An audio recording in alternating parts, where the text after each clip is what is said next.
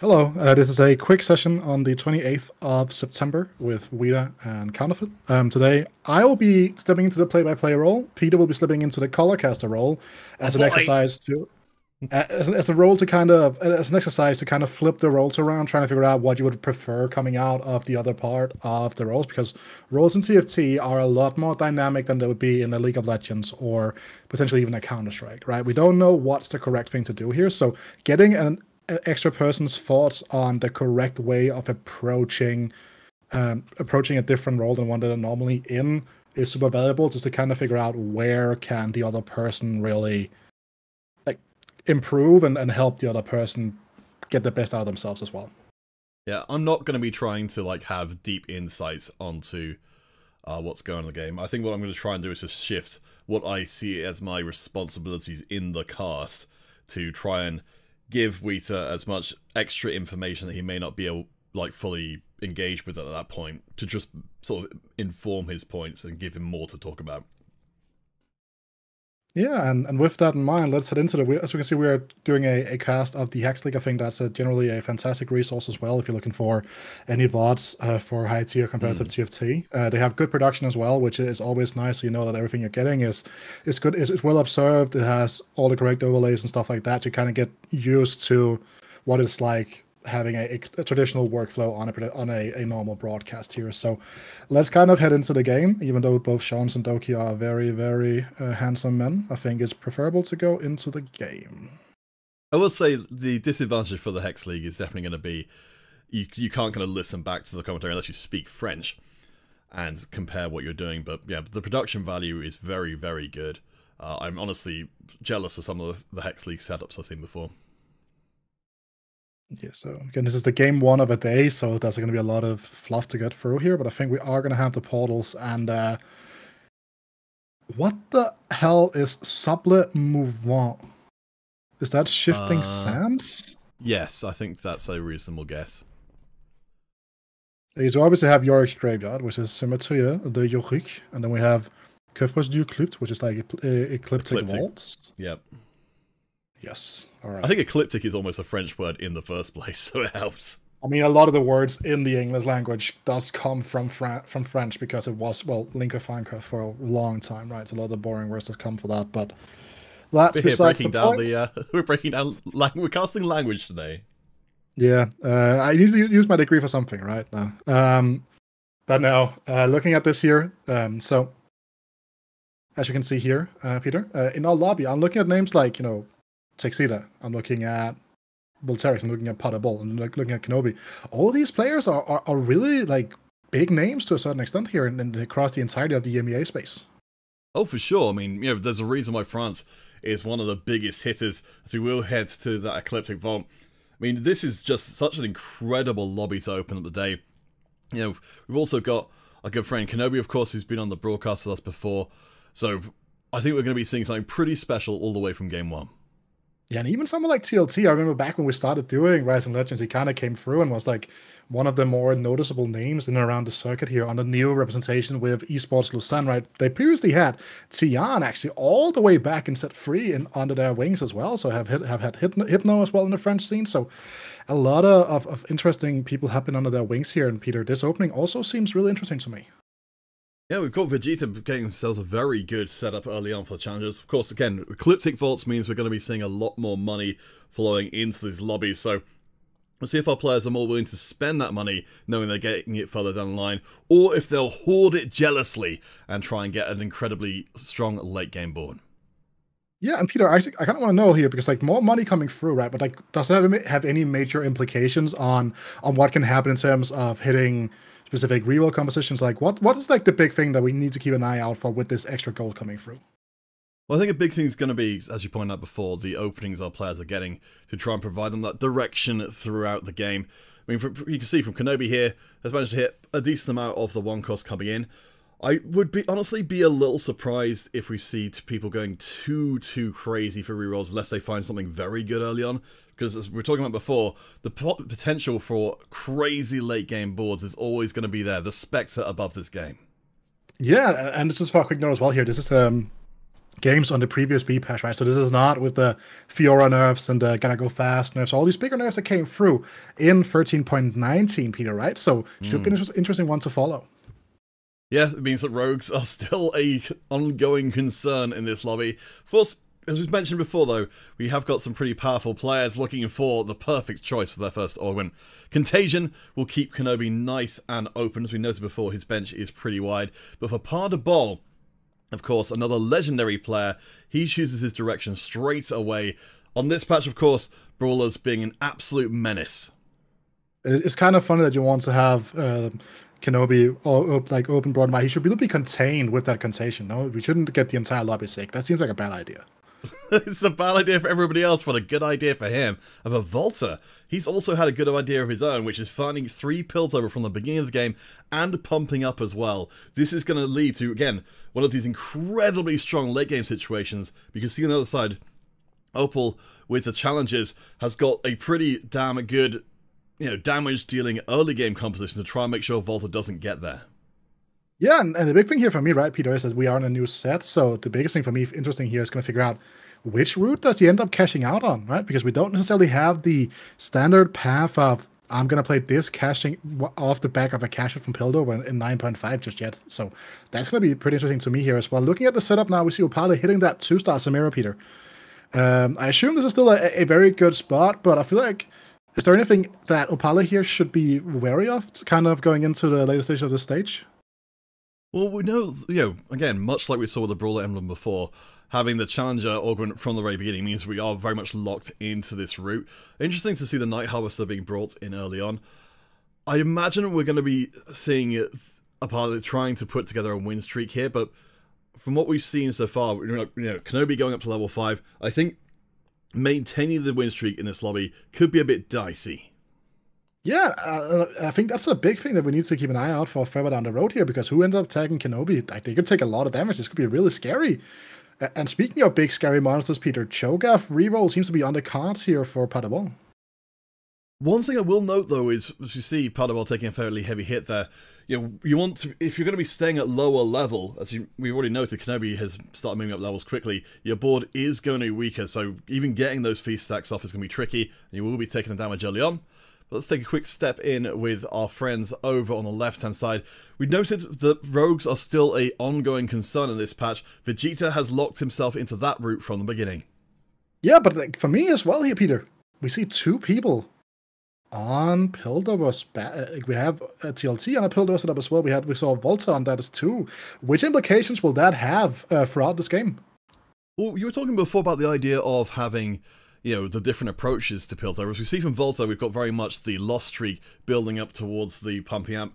From from TLT, we have got the Shimmering Inventors in there, which can potentially turn to a much more powerful uh, earlier game composition because you're just getting raw power in. I think for the time being, let's see, where, where is TLT? Roughly in the middle. If he can keep together a win streak, he's getting paid out, or potentially paid out, every round from the Shimmering Inventors. So can still spend some of that money and put together a decently strong board with indeed an Echo tool as we glimpse there.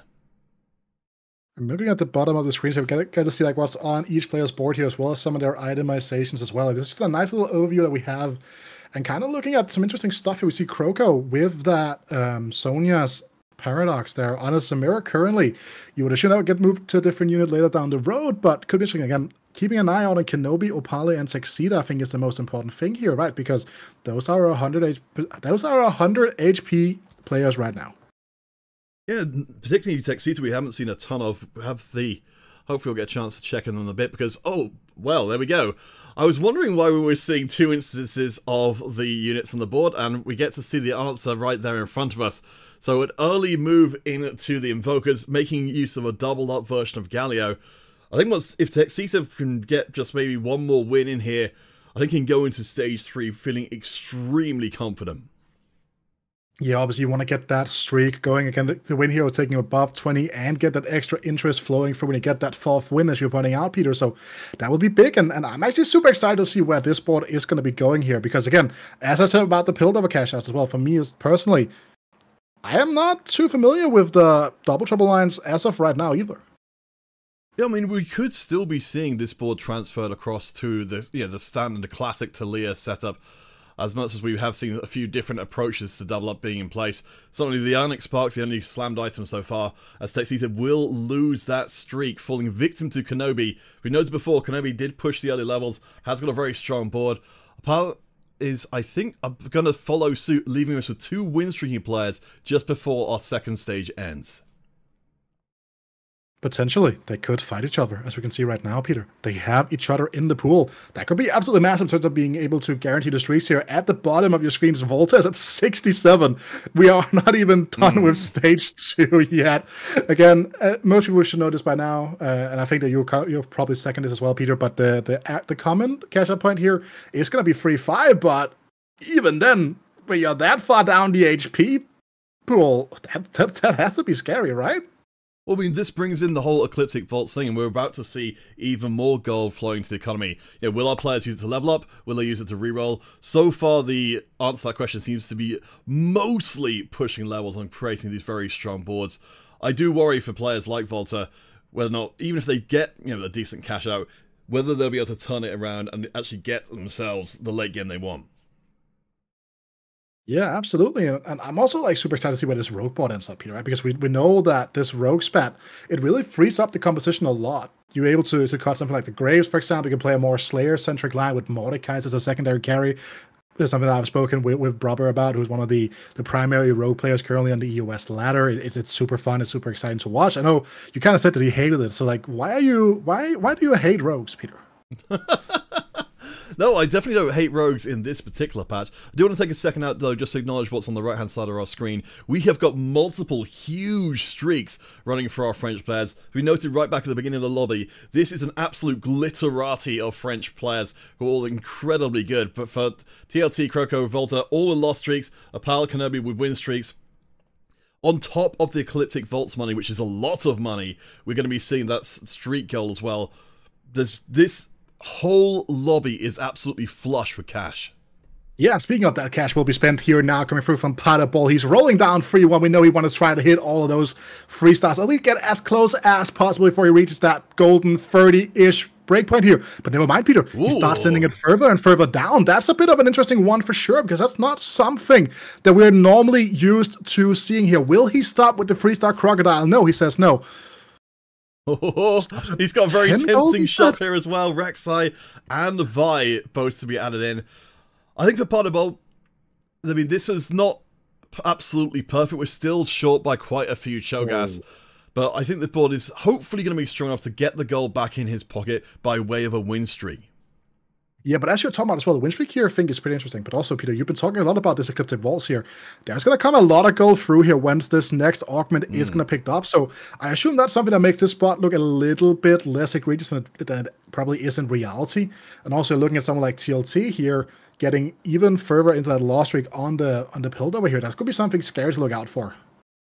We head into our second augment. It will be prismatic. Note that Kenobi and Apal are both still win streaking. So if they can land some decent augments now that keep them in that spot, we're going to be seeing players like Volta, Croco, maybe even Vegeta and TLT start to plummet down in the HP totals in stage 3. Yeah, and Kenobi, oh, double Shurima's patch, Peter. So he's going Ooh. down the vertical Shurima route. This is super exciting. This is not something that you, I feel like you see a lot of right now. I feel like most people stop at Nasus and then just play as Seer, right? I feel like that's the that's the common thing right now because Shurima has been moved from a two to a three. You you seem like you have a lot more flexibility here, but what do you like? Where will these spats end up further down the road? Which are the key units to look out for here on Kenobi's board? Well, something I'm really thinking about, uh, yeah, really long term for Kenobi is he's in such a good spot. We know again, there's a ton of money in the lobby. He's had a massive win streak put together. I don't think that Shurima 9 is out of the question for him here at all, because even if the win streak doesn't maintain in place, and it seems like it's probably going to, uh, he's got a ton of money and a ton of time, which is what all this winning in Stage 2 has bought him. He's got time to move up to level 9 and be one of our frontrunners to first the lobby. Also, I think that one of the more important things we haven't spoken too much about, the fact that he hasn't hit Opali at all, right? Like, both of these players right mm. now hmm are still a hundred streak. Never mind, Peter. I knew it. That's that's what I did. I didn't mention it because I knew it was going to happen at that very moment. To be fair though, Apali is running a ball which I think is going to uh, well, was I think pretty much due to fall off a cliff. But for Pas de Balle, we have got a champion duplicator on the left hand side. It will be cashed in. This board is online officially and on a win streak as well. So Kenobi, as strong as his board is, he's now got an active contender who's coming after him. Yeah, and for me as well, I think this is the exciting thing here. Uh, if I was watching at home, the fact that he's just going to be able to just fully push levels now because he's every single unit he needs to hit. This backline could become really scary somewhere down the road. One thing I will note here is, you know, we're talking about briefly the rogues from before. This is going to be one of those compositions that will not be very happy to run into the rogues. I mean, the brawlers, you know, they've given themselves an enormous amount of front line to work with, but the back line, the Cassiopeia we saw there, just getting deleted, and without her in the mix, and with Rek'Sai not really being a main damage source, this composition becomes more vulnerable, even if it's good enough right now. Yeah, but we also know there are some positioning things that I don't feel like people are really discovering too much in the set just yet, right? Because rogues are, are so weird a lot of the time, I feel, comparative to some of the other assassin traits that we've had in the past, right? Because you can't really flip your board on its head the way you used to be able to. Uh, you have to kind of do some other weird positioning things from like what I've seen other top players do on stream and stuff. Didn't really come through right there, but again, it's also the age-old debate, Peter. Is it really worth it to position around one particular matchup every time? I think when so much, I think for the time being, for so much of the brawler board, the damage is coming from the Cassiopeia on the back line, making some effort to preserve her is going to be important, but I wanted to turn our eyes to Volta because we haven't spent too much time with him recently, and hopefully we're about to, yes. He has been playing the long game for a while. He's on a 25 potential cash out here. Mentioned the 3-5. We're going to see the money spent here by Volta to try and make sure that cash out comes in before everybody else's board goes off hugely. My big concern here is because we've had so much money in this lobby so far that the usual tempo of the game has been thrown off from where it would be normally and maybe Volta actually isn't strong enough to keep up with these boards and get that win he so desperately needs. Yeah, this is going to be a big fight here. And he goes up against Balle's board here. Almost shades of Super Brawl from, from Yonder, where we saw these two players grief mm. each other constantly, though it's on the same team. But here right now, you can see the Cho'Gath in the front line doing all of the work together with that Renekton backline here, the Jinx, with the IE and the Jade and the Last Whisper. You're trying to do her utmost to get through, but these Brawls are just way too tanky. There's not enough damage. It's not the Jayce, too. None of the things that really make this composition tick, Peter, is coming through right now. But that's an additional extra amount amount of gold coming through on the cash out. But he's down to just 14 HP. He has Tiniest Titan, but even then, this is still pretty dicey.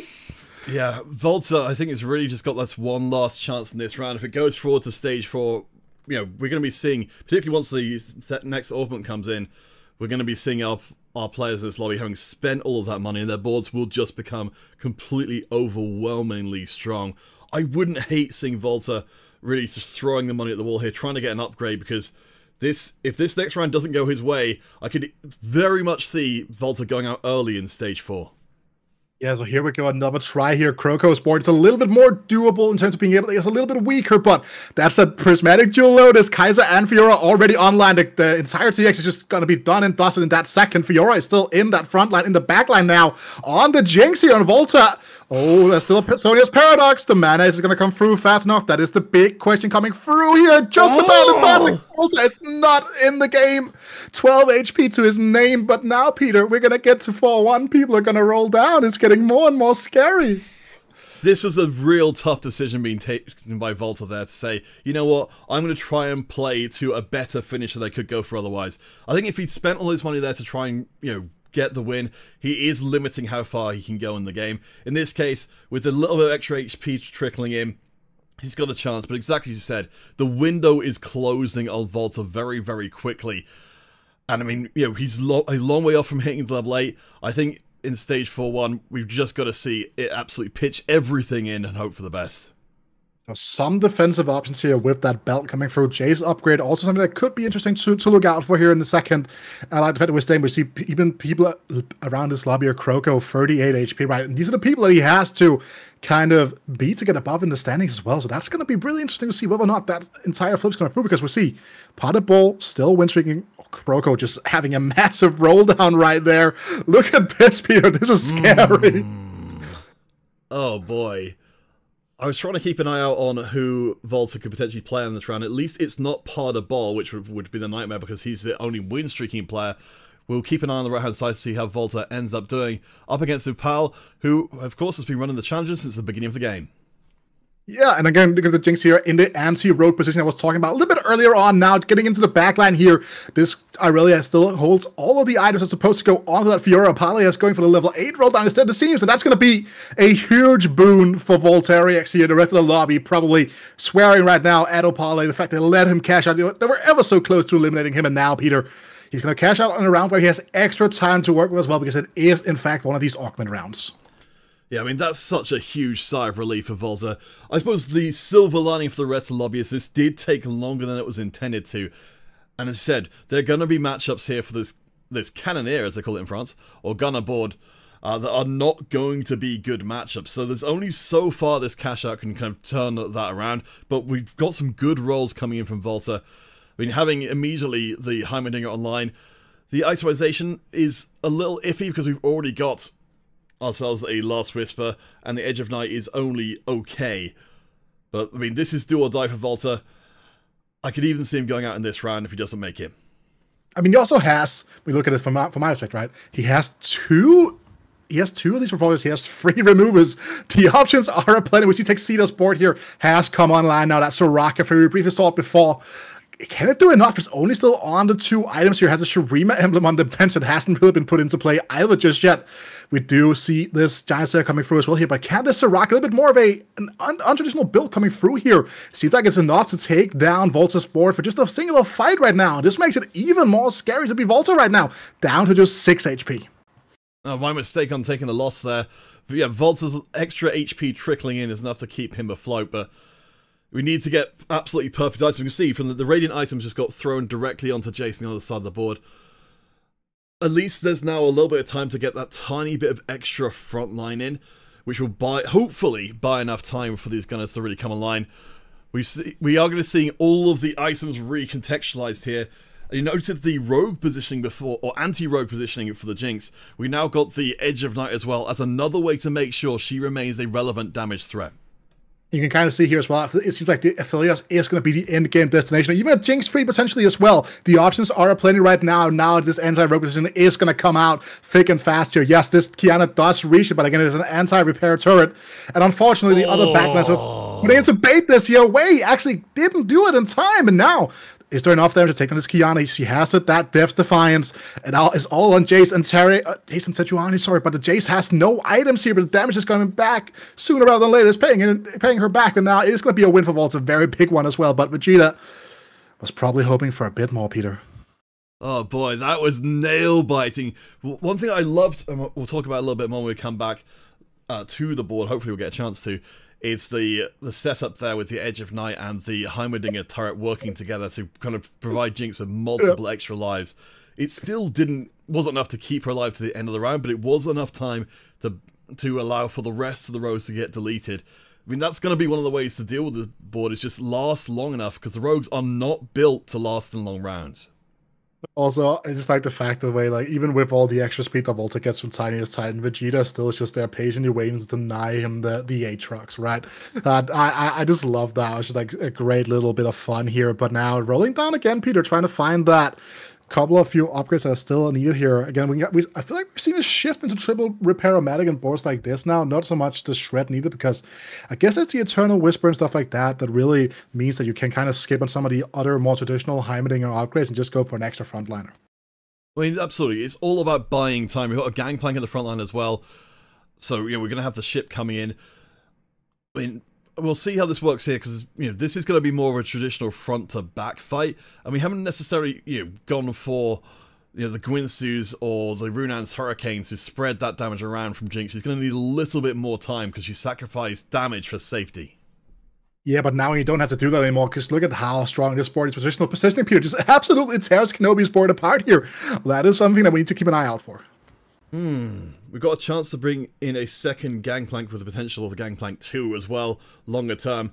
I'm keeping a close eye on whether Volta might be, as you said, thinking about making the move across to the Aphelios 2 once that comes a calling. But in terms of his overall game position, he's got a good win streak. We know, of course, he has no safety net at all. Any of these players left in the lobby could be the final one he faces, but he is clawing away at the HP of these lower HP players. We've got multiple ones in the 30s and 40s now who are starting to look a little bit more vulnerable. Yeah, but we do see some upgrades coming through here. Opala hitting a Kaiser 2. Meanwhile, we also have Potter Balls board on our screens. Peter still doesn't have the Bramble Vest to really help this along.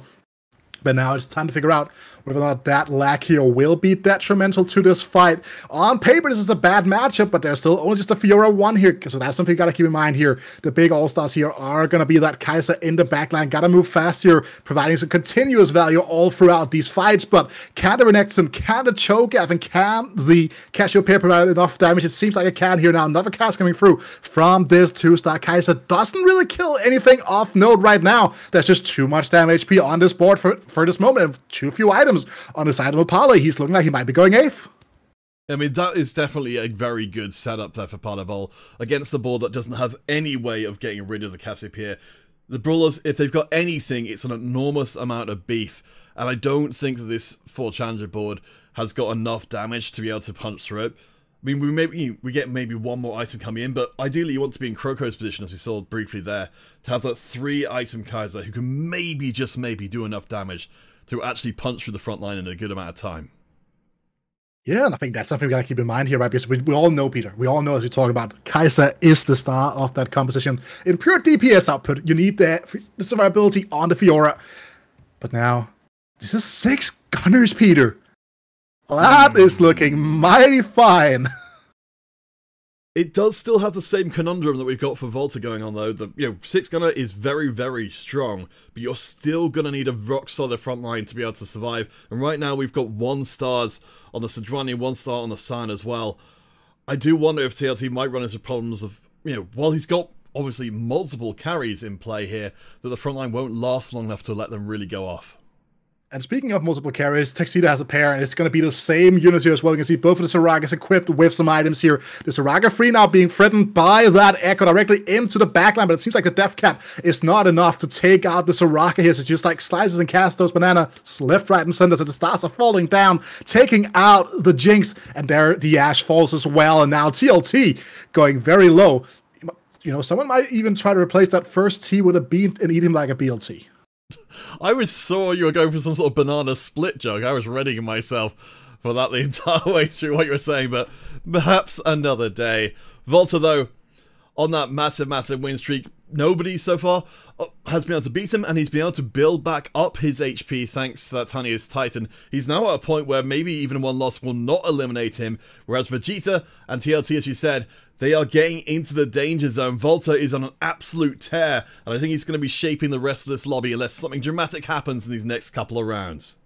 And speaking of dramatic moments here, Volta slowly but surely climbing way more HP back here to 42 power TX potentially could be going directly onto the Soraka if the front line is removed in time here. The Jinx comes in, the boat comes in as well. Lots of CC in that front line now, and will the Soraka be able to keep up the power? Doesn't seem like it. Tuxedo slowly but surely bleeding out here as Voltaire has, as has found stability at the bottom of the standings here. Vegeta now, the next one on the chopping block. Kroko all the way down to 5 HP here, and Vegeta's rogue board also takes a loss to this gotta go fast Fiora Peter. We're looking at 5 HP, we're looking at 40, we're looking at 17. It's ever so close close.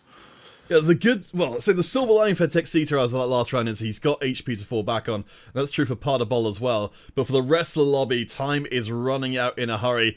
I think Croco is going to be cursing this game because, you know, under normal circumstances, this should be a good enough ball. But the Ecliptic Vaults, they've shaped everything from start to end. We've just got a whole new rarefied layer of how absolutely cracked these balls can be. Kenobi, we talked about before, the 9 streamer, fueled by all this money, is online. This board is absolutely ridiculous. ball here gets the Cho'Gath away from that K'Sante now, meaning it's just going to be able to do its thing without really being impacted at all here now. Sign into the backline, disrupting the Seer, disrupting the Kaiser.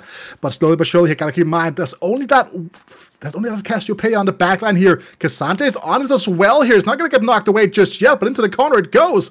The Kai'Sa, unaffected, continues the healing up with the power of that Shurima spat here, and that's another massive loss here coming through as Vegeta is the first one caught from the game. Oh boy, I mean, this is the whole thing though. If you're building a board quite heavily around the one costs and things, it does make sense that Shurima 9 should be able to just be on a whole different level than you long term. I think the big concern going forward into the back half of Stage 5 is just going to be what order we're seeing our players pruned in. You know, Apal, TLT, Croco, they're all on a single life. Volta, you know, has already leapfrog up to up to a top four position.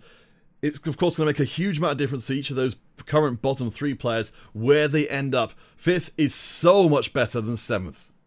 Yeah, and all those points here, they're so important. This, these are five game game days. Sure, they have five of them as well, Peter, but you got to get off to a good start on a single every single play day, right? Because you just got to guarantee that level of like comfortability, all of that confidence in your gameplay for the rest of the day. It's so important to get off to a good start here. And TLT right now, next in the chopping block, unable to find that Jayce free as he goes into his potential final fight. He's going to be against Volterix Sport that's still streaking, still healing with those tiniest titans. A God and Mirror matchup, and that's one of the most exciting things to look out for. One thing I want to note as well from Volta's board, you can see that the with Vegeta having left the game and the Rogues now being out of the picture, the Radiant Edge of Night has been moved onto the gangplank on the front line, which gives you such quicker access to the ship coming in. It means that TLT and Opal are both out of there. Kenobi goes down to a single life. So we've got a real hard battle for top four. Yeah, I assume that he was the one that could be needing a brand new day with that Brink of Dawn, but no, gonna go out here in seven, in sixth actually. Opali going out in ninth here, so a bit of a bonus here for TLT. It was looking very scary, but next up is looking scary for Kenobi, it's looking scary for Kroko as well. It really interesting board setup here, you know, because we didn't get necessarily the pure attack speed we would have liked. So this board is relying very, very heavily on the Kai'Sa to get the job done. I'm not sure I'm a huge fan of. I mean, a lot of the gold has been spent on leveling up rather than upgrading units. We've still got the Nasus at 1 star, we've still got K'Sante at 1 star as well. I don't know, but we'll find out who's going to be in the top 4 right now. Oh, this is going to be a Kai'Sa versus Kai'Sa focused matchup here. And even though that two star Aatrox gets deleted by the Fiora, it is going to come back at some point here. But now it's all on the Kai'Sa for the damage. The Cassandra is doing its best to chip in here. But as of right now, that Zhonya's Paradox is procced on the opposition Kai'Sa here. It is such a massive one here. Now, will the second Kai'Sa be able to get out of time? It is not in Kenobi going out in fifth place here as there's no Aatrox respawn coming through in time, and Kroko lives for a top four here. But Volterix, Peter, he's still streaking as well. Like he's gonna come for that crown whether he wanted it or not. Yeah, I think at this point Kroko is very happy to have made the top four at all. We know Volta is, you know, the angel of death coming for pretty much everybody else in the lobby. Yeah, maybe you can squeak out a win against, but we see from the gold totals on the top there, Ball has been spending pretty aggressively. Texita is holding on to a little bit because he's got the HP to do so, but for Kroko, I would be absolutely astonished if he can pull off anything more than the top four. Yeah, I think this is a position where you look at this game and like, okay, I'm super happy to be in the top four here as well, right? Like you have kind of everything you need, but you don't really have extra tank items for the uh for the for the Jarvan, for example, right? But look at pure like these boards are, are crazy, man. Yeah, make money, make problems for everybody else. I think the big question we've now got for the top four is can anybody take down Volta? Because we noticed before, Volta moved out of one life territory a while ago. He's now in two life territory, getting even stronger than that. So even if you can fluke a win against him somehow, you're going to have to do it multiple times to stop him from taking first place. Yeah, and this is going to be the fight we are going to be focusing on here. Ball versus Volta here. This Cho'Gath free now with a Noxus Renekton in the front line, kind of providing more support here. As we also see the Sunrise coming through, but there's no gold in the bank, Peter, no matter how much you talk about it, which means the damage is kind of be in that relation as well, and that's going to be Ball taking a huge hit here. And if Kroko actually manages to win against Texita, there is hope, but that hope is quickly put out. It does look weird. He dies with 50 gold left, but he had nothing to roll for. There's no reason to kind of flame him in chat and be like, chatting, 50 gold, roll down, chatting, chatting, chatting. No. But now, Peter, top three here. Texita on the board here. We look at this like, it's Soraka reroll in the top 3 mm-hmm. I mean, I'm really impressed with this. I keep, you know, I will say, in praise of the recent sets, definitely right I've opened up the space where it's much more possible to run stuff that is, you know, things that you wouldn't normally see, stuff that you wouldn't ever expect, and still have it work pretty well. I do think Volta is on, you know, a fast course for first place, but it's really, for me, Paderball versus Texita battling out for second. Yeah, and one of these fights here is actually going to come through now. I actually don't know who wins this matchup here. I feel like that Declaw on a choke in the front line really should be providing enough sustainability to buy that that Cassiopeia in the back line enough time to start slowly but surely chipping away. But there's also so much healing coming through from these double Soraka's here, and with the CC provided from that boat, it is seeming like the Soraka's here will prevail, will be raining down their stars, and well, Paderball He's knocked out. He will be seeing stars as he goes into third place, but now it's all on Volterix and Texita for this top two fight. And from what I've seen so far, Peter, it doesn't seem like Texita has any chance of contesting Volta's board.